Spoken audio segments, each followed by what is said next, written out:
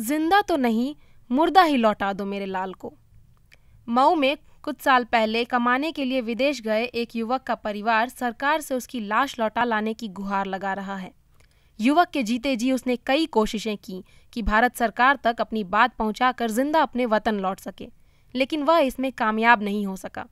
आखिरकार शुक्रवार को सऊदी के एक अस्पताल में ही युवक की मौत हो गई। मेरा लड़का गया था सऊदी और सऊदी जाने के बाद उसका मैं वहाँ पे फंस गया एक्सीडेंट हो गया, फंस गया और उसके बाद से मैं बार बार गुहार लगाता रहा। सुषमा स्वराज जी से, सुषमा स्वराज जी से मैंने पत्र लिखा। सात महीना पहले कोई जवाब नहीं मिला।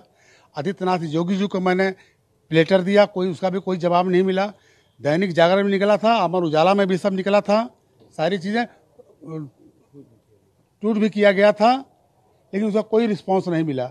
कल दिनांक मेरा भतीजा सऊदी में देहांत हो गया।